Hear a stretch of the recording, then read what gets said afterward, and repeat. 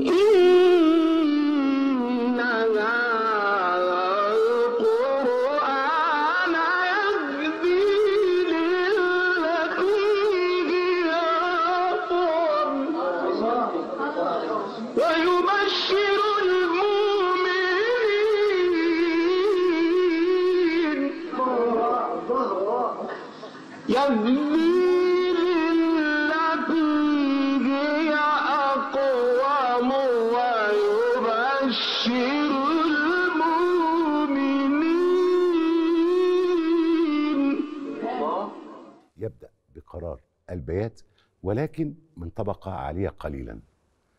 يصعد إلى الدرجة الرابعة لا يذهب إلى الرصد وهذا المعتاد ولكن يصور مقام البيات على الدرجة التي تتناسب مع صوته. وهذا فكر جديد.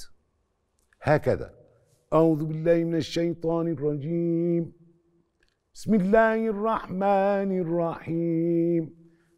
مكان الرصد هنا في الدرجة الرابعة. هكذا. آه.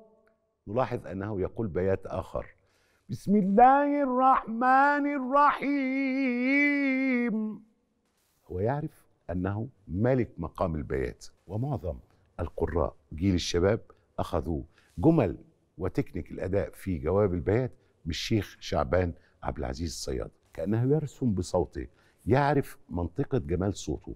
حينما يصعد إلى هذه المنطقة يعرف أن أشقاء البيات الحجاز وكذلك الصبا هو لا يذهب إلى الكرد الأخ الرابع.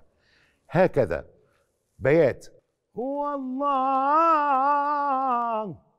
يغير يقول الصبا. هو الله. الحجاز على نفس الطبقة. هو الله. الشيخ شعبان الصياد حينما يقول المقدم أن قارئنا الليلة هو الشيخ شعبان الصياد يعرف الجميع ويكبرون ويهللون. نحن في سهرة قرآنية وسنستمع بقارئ من طراز فريد إنه الشيخ شعبان الصياد.